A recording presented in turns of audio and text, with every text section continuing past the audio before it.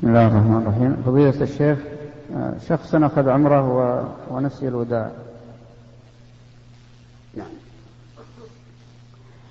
الصحيح من من أقوال العلماء أن العمرة لها وداع كالحج.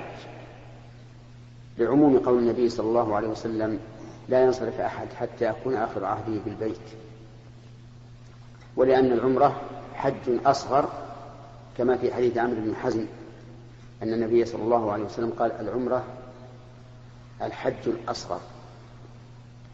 ولأن الإنسان يقدم إلى البيت يقدم إلى إلى البيت بتحية وهي الطواف فلا ينبغي أن يخرج منه إلا بالتحية وهي الطواف.